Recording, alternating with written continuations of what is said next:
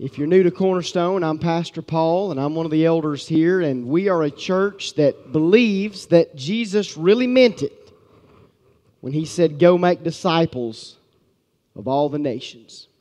The IMB is the International Mission Board, and every Christmas we have a special offering, an opportunity to give. We call it the Lottie Moon Christmas Offering. And uh, this Christmas, December 23rd, on that Sunday, or at our Christmas Eve service, you'll have an opportunity to give to the International Mission Board to support missionaries taking the gospel around the world. Let me invite you to open your Bibles to Romans chapter number 9. Romans chapter number 9, where Paul gives the foundation of our sure and steady hope. I am happy to announce to you that I survived Black Friday. I survived Black Friday. And I want to tell you how I did it. Three words I stayed home.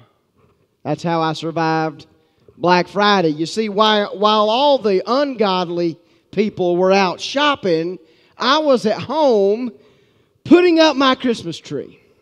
No, I'm just kidding. You're not ungodly if you shopped on Black Friday, but I still think you need Jesus.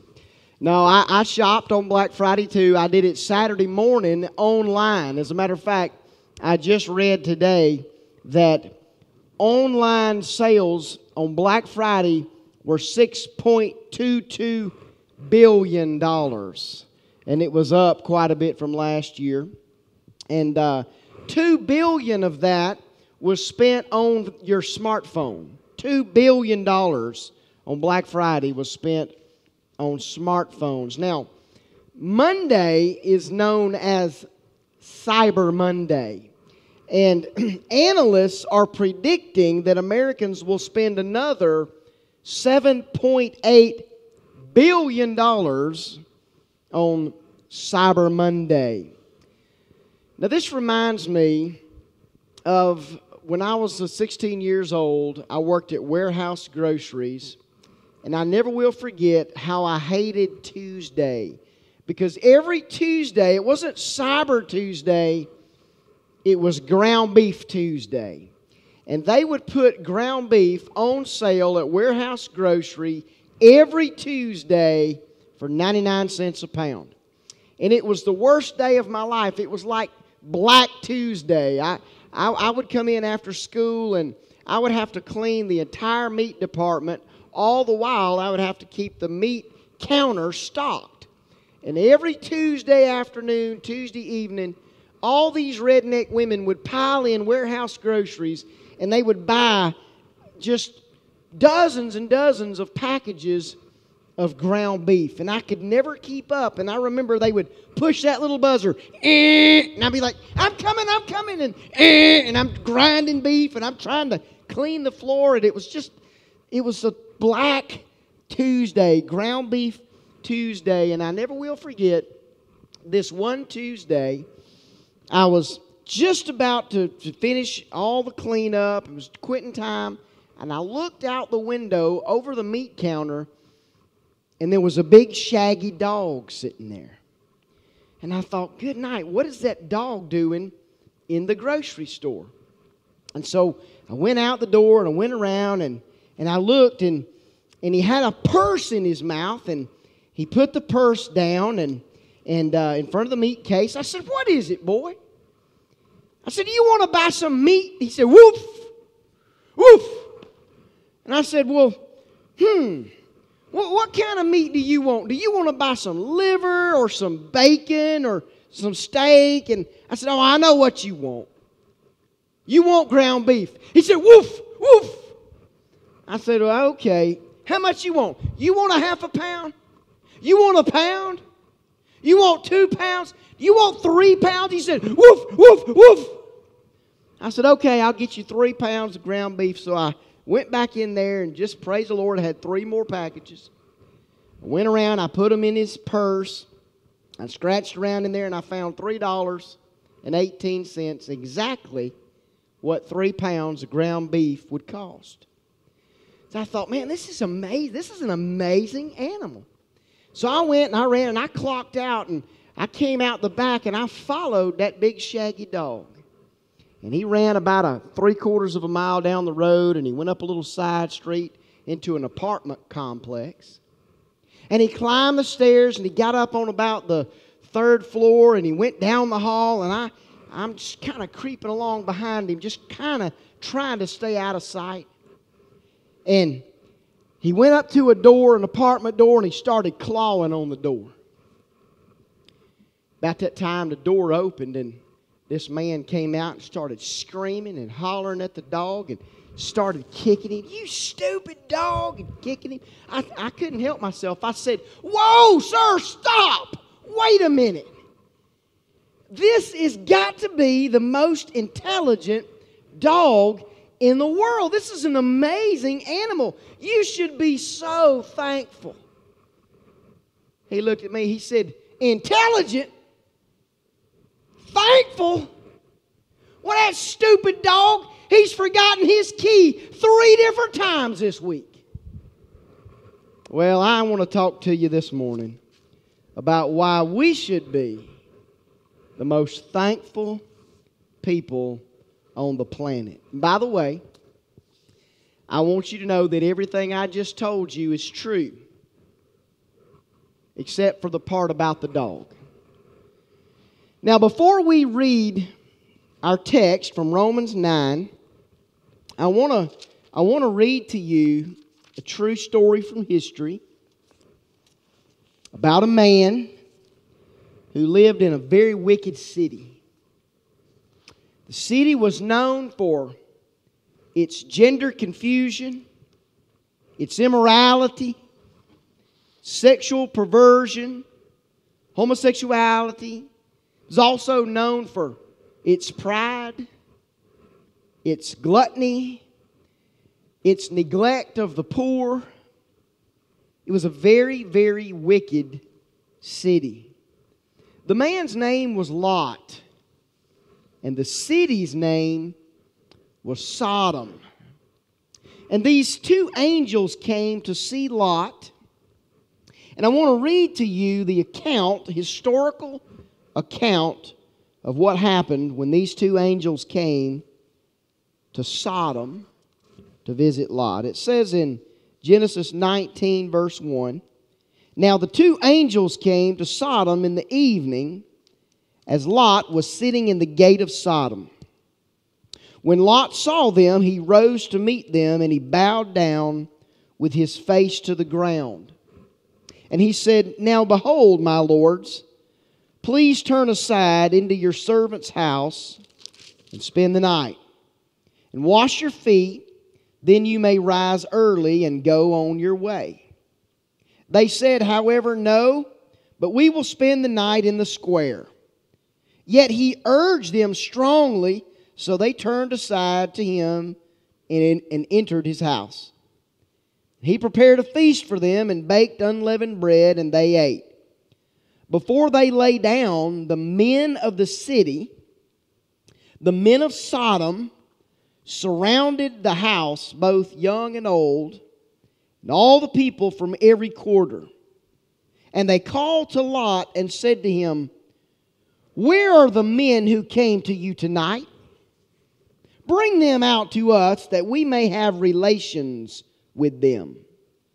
But Lot went out to them at the doorway and shut the door behind him and said, Please, my brothers, do not act wickedly. Now, behold, I have two daughters who have not had relations with man. Please let me bring them out to you and do to them whatever you like. Only do nothing to these men, inasmuch as they have come under the shelter of my roof. But they said, Stand aside. Furthermore, they said, This one came in as an alien, and already he is acting like a judge. Now we will treat you worse than them. So they pressed hard against Lot and came near to break the door. But the men reached out their hands and brought Lot into the house with them and shut the door.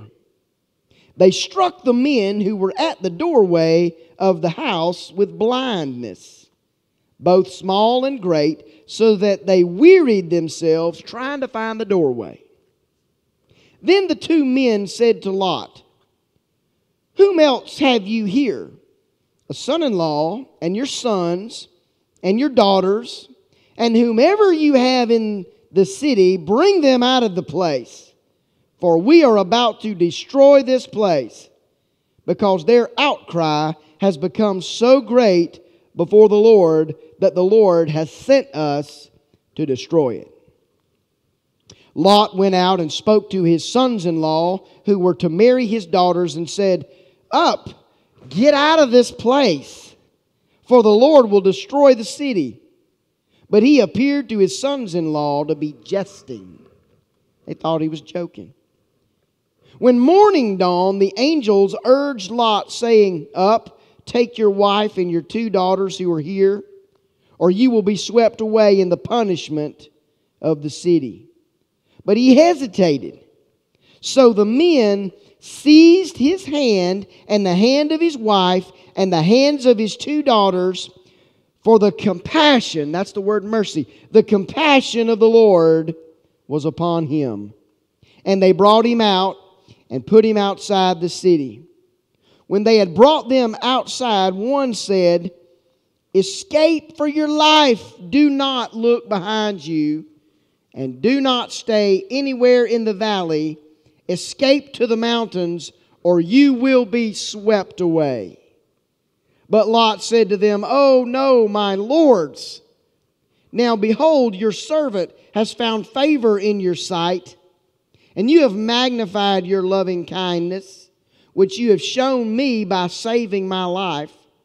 But I cannot escape to the mountains, for the disaster will overtake me, and I will die.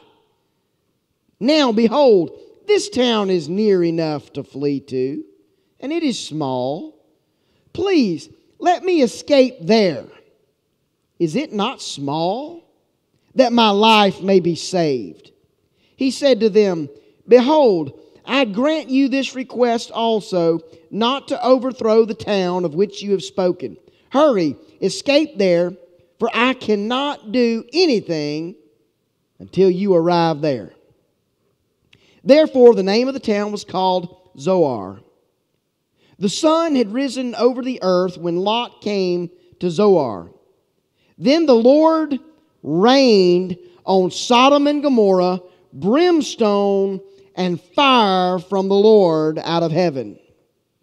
And he overthrew those cities and all the valley and all the inhabitants of the cities and what grew on the ground. But his wife from behind him looked back. And she became a pillar of salt. Now Abraham arose early in the morning and went to the place where he had stood before the Lord, and he looked down toward Sodom and Gomorrah and toward all the land of the valley. And he saw, and behold, the smoke of the land ascended like the smoke of a furnace.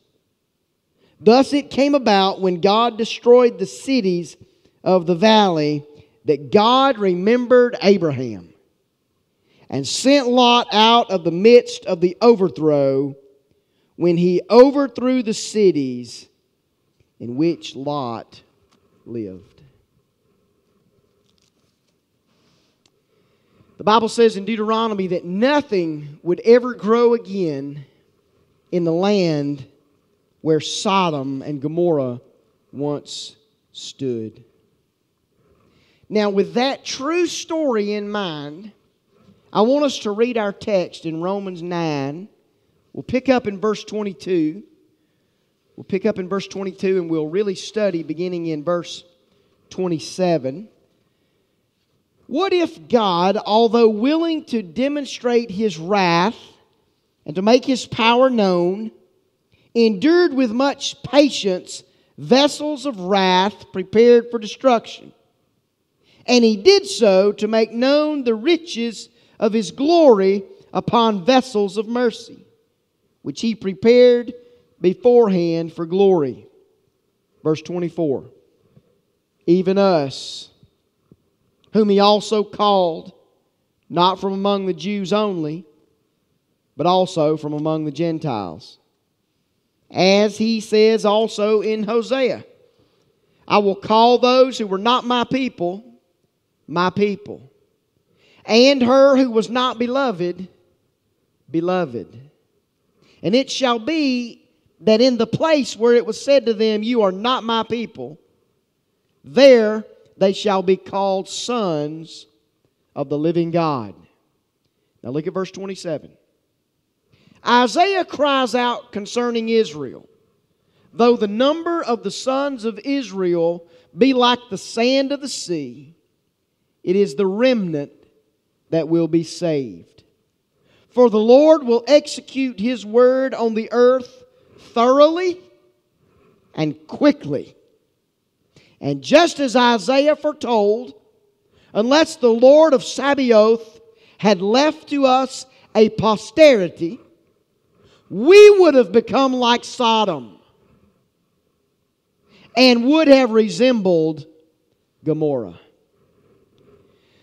Now let's remember the context. Remember, in Romans chapter 8, Paul said that Christians have received a spirit of sonship, a spirit of adoption, and we are children of God. And then he says, children of God have been given some unbelievable promises, unshakable hope. And you remember these promises like we know that God causes all things to work together for good to them who are called according to his purpose, to those who love God. Uh, promises like, who will bring a charge against God's elect when God is the one who justifies? Promises like, we overwhelmingly conquer through him who loved us. And promises like, there's no created thing able to separate us from the love of God which is in Christ Jesus our Lord. But Paul, being Jewish, being a descendant of Abraham, Paul knows what the Jews are thinking. Paul, if your gospel is true, then God's word, God's decree toward the Jews has failed. And Paul knows that's what they're thinking. And Paul says, I have great sorrow, unceasing grief in my heart about the lostness of my people, the Israelites. But then in verse 6, Paul says, But it is not as though the word of God has failed, for they are not all Israel who are descended from Israel. And in verse 8, he says, That is, it is not the children of the flesh who are the children of God, but the children of promise are regarded as descendants. That word sperma or offspring. And then Paul begins over the next three chapters to explain what does it really mean to be a child of God, a child of the promise. And he, he begins to show how it's way more than just being a descendant biologically of Abraham. And we saw through Isaac's birth that being a child of God requires this life giving power of God. And we saw through the call of Jacob that being a child of God requires a life giving call of God. And then last week, the title of the sermon was Even Us. And we saw that Paul includes Gentiles like most of us into this beautiful Jewish story of Hosea buying back his unfaithful wife of harlotry. Now, I want to ask you a question. In verse number 24, who is Paul really talking about when he says, even us? Because if we don't get that right, we will completely miss Romans 9 10, and 11. And we'll miss the foundation of our sure and steady hope. Now look back at verse 23. And he did so to make known the riches of his glory upon vessels of mercy, which he prepared beforehand for glory, even us. When Paul said even us, he's not referring to Gentiles. That's impossible because Paul used a first person pronoun, us. Paul was not a Gentile. Paul was a Jew. And so he couldn't be talking about the Gentiles, but he also couldn't be talking about the Jews only because he, he says it's not the Jews only. So who is Paul talking about when he says even us? Well, write this down.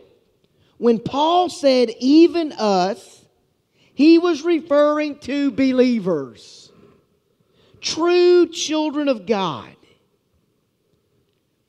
Now look at verse number 27.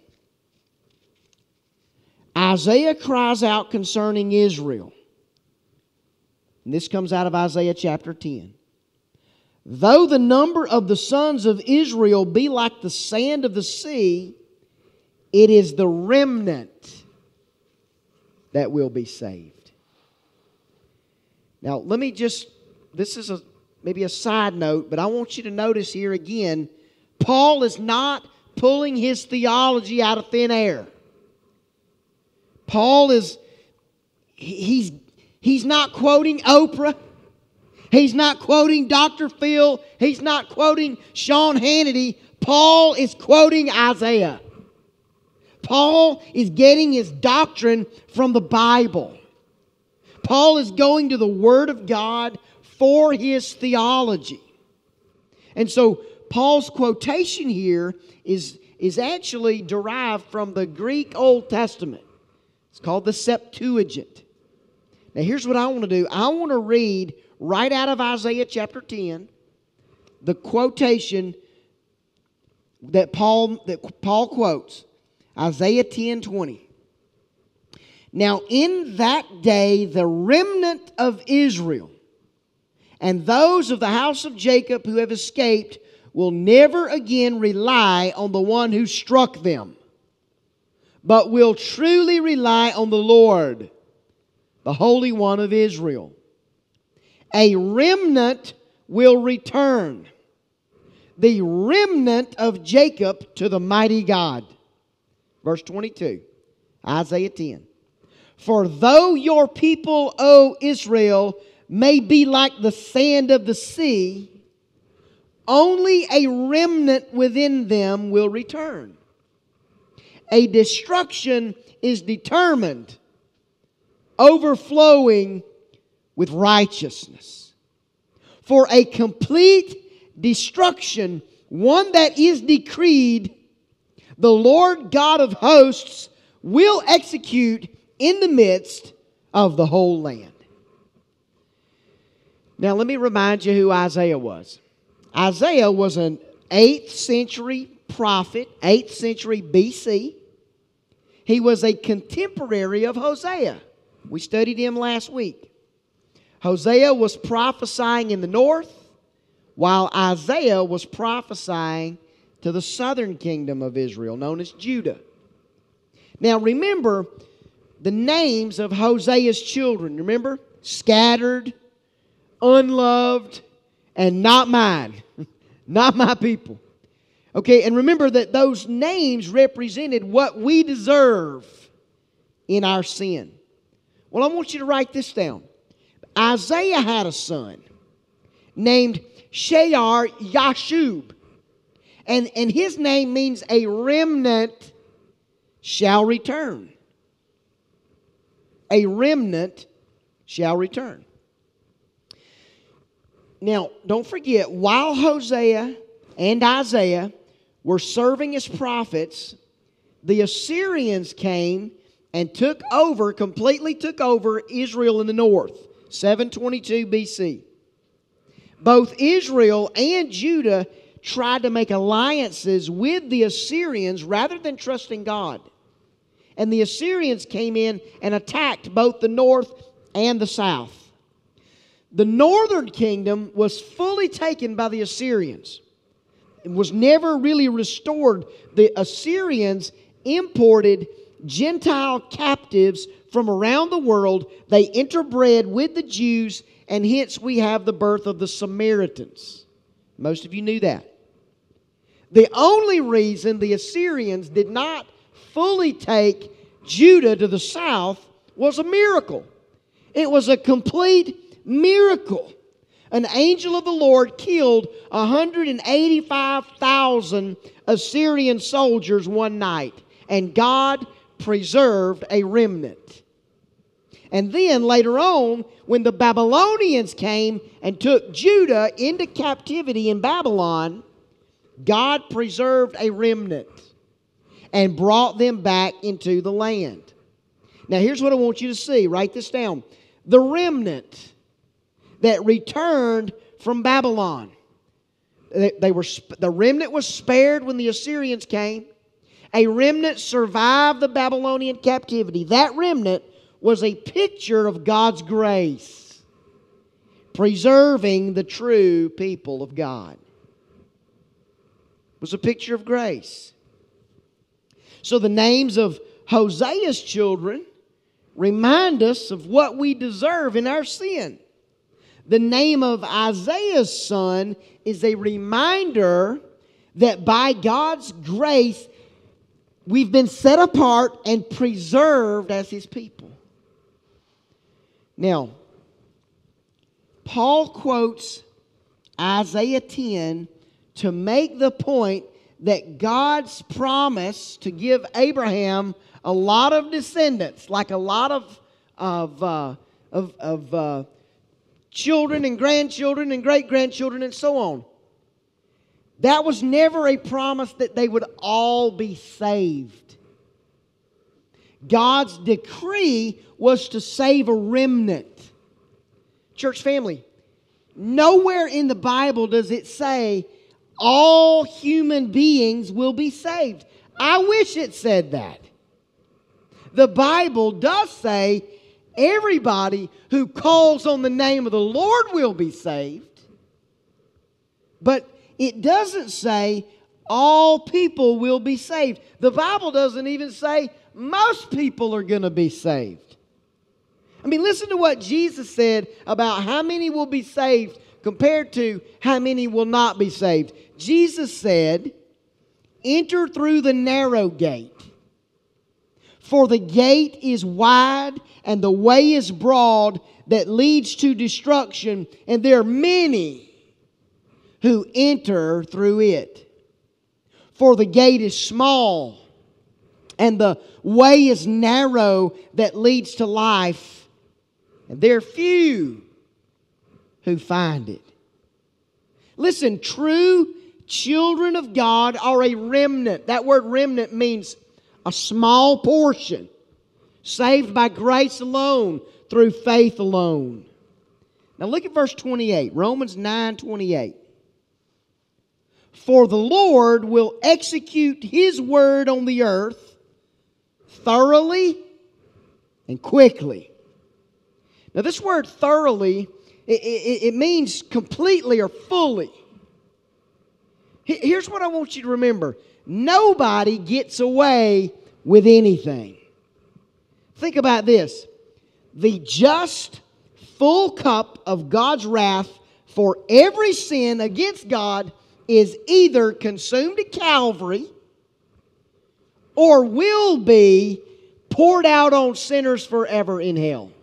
Did you ever think about that?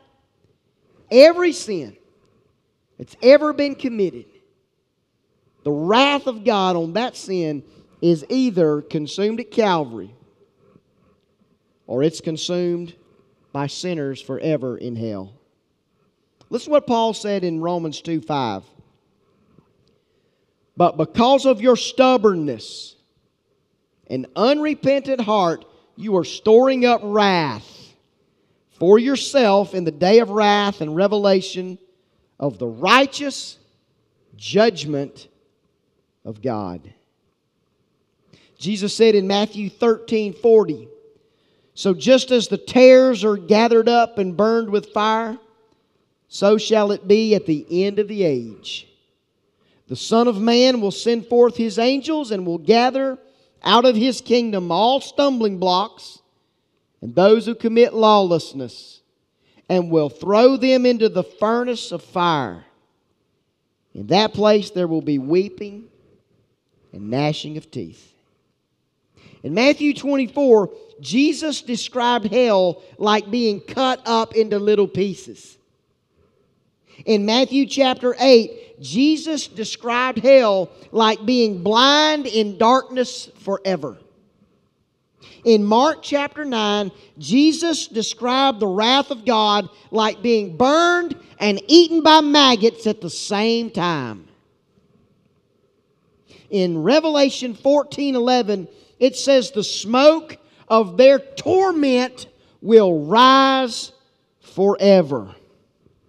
I never will forget about, I don't know, eight or ten years ago, I was at my home in Georgia and a couple of Jehovah Witness ladies pulled up in the driveway and they began to talk to me about their beliefs and about this kingdom and I just began to talk to them a little bit about yeah, about the Bible, and I said, "Ladies, can I can I ask you something?" I said, "Does is it possible for something that does not exist to smoke?" And they kind of looked at me for a minute, and they said, "Well, no, I don't think so." And I said, "Well, now you ladies, you you you believe that there is no hell, and you believe that people who are not uh, uh, in the kingdom, the way you understand it, will be annihilated. They'll just simply cease to exist. I said, Can you explain to me how is it that these who reject the gospel of Jesus Christ in Revelation 14 11, the smoke of their torment rises forever. Can you explain to me how somebody who doesn't even exist anymore, that has been annihilated, can smoke in torment forever? They could not explain that to me. You know what happened? Those ladies never came back to see me again. I pray for them. I pray for them. You say, Pastor Paul, man, this is Thanksgiving. This is Thanksgiving weekend. We don't want to think about hell on Thanksgiving weekend. We're trying to celebrate all the good things that God has done for us. Hello! God has not done no greater thing for you than to suffer the wrath of God, your hell, at Calvary. We have no greater thing to be thankful for the fact that Jesus consumed the wrath we deserve at the cross, and the fact that we're not going to hell should make Christians the most thankful people on the planet. And Paul says thoroughly, and then he says quickly, without delay, to cause a duration to come to an abrupt end with the implication of sooner than expected. That's, that's, a, that's a Greek lexicon definition of that word.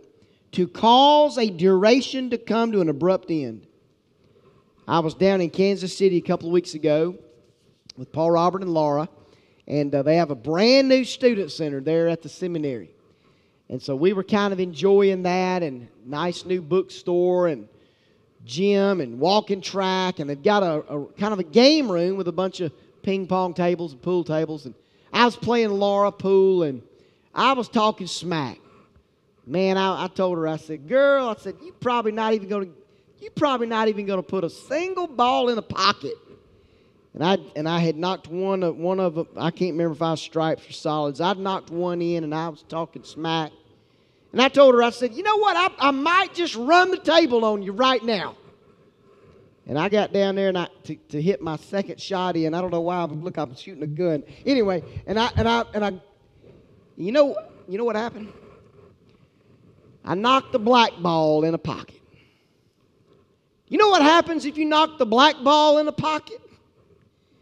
the game comes to an abrupt and sudden end. It was over. And, and, it, and it just came to an end, and it seemed like it was way sooner than expected. In 1 Corinthians 15 23 and 24, Paul said, Jesus is going to come back, and then comes the end. And Peter said in 1 Peter 4, the end of all things is near. And Jesus said in Matthew 24, his return will be like lightning, like a thief in the night. So be ready. All these people that spend all this time and energy studying the signs, I want to say, read your Bible. Jesus said, stop looking for signs. He said, you need to be ready. The fact that Jesus is coming without warning, sooner than expected, should make Christians the most intentional, urgent people on the planet. We should be intentional to find persons of peace. We should, we should feel urgent about getting an urgent message to them. Now look at verse 29.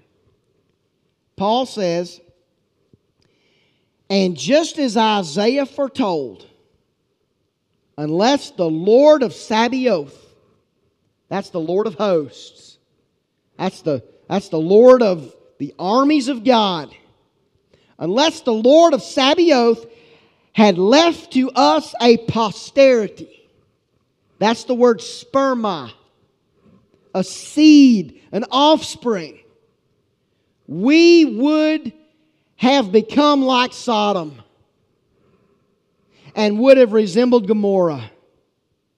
Now, Paul is quoting Isaiah chapter 1. In Isaiah 1 4, God is speaking to rebellious Judah. And he says, Alas, sinful nation, people weighed down with iniquity offspring of evildoers, sons who act corruptly. They have abandoned the Lord. They have despised the Holy One of Israel. They have turned away from Him. Who is that? That's all of us. Listen to verse 9, Isaiah 1. Unless the Lord of hosts had left us a few survivors, we would be like Sodom. We would be like Gomorrah.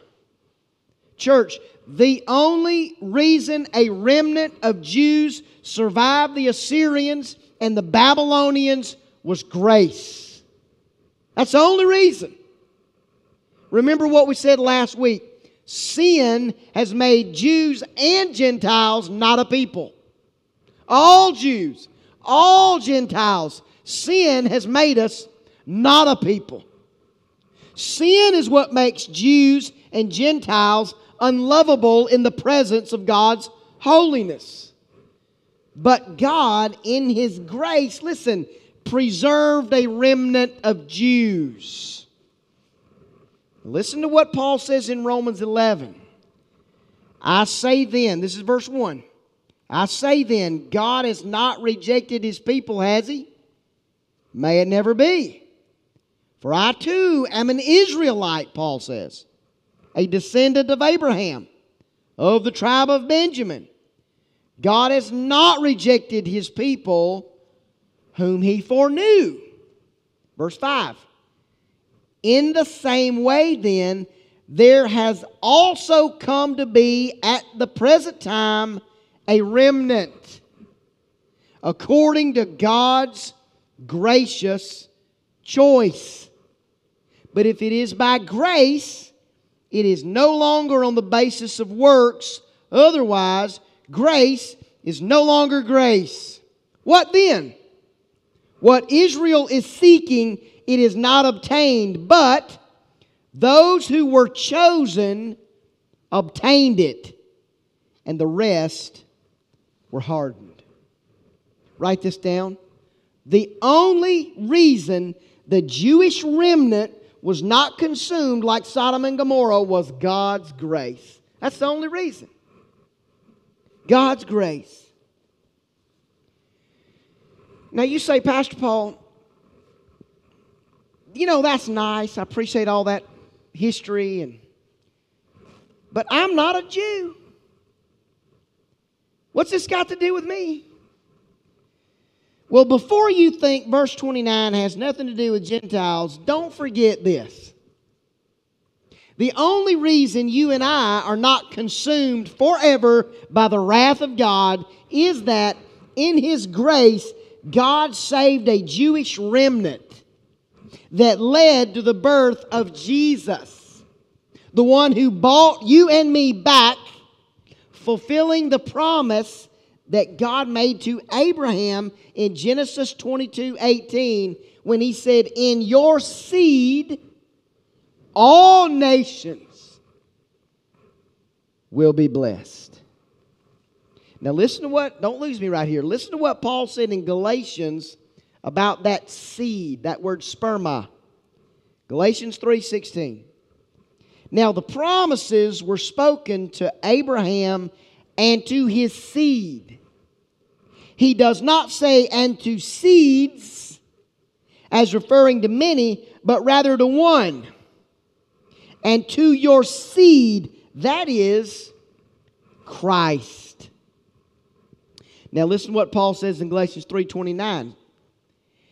And if you belong to Christ, then you are Abraham's descendants. If you belong to Christ, then you are Abraham's sperma, offspring, heirs according to promise. Now let me take you back to 924 Romans the even us is believers.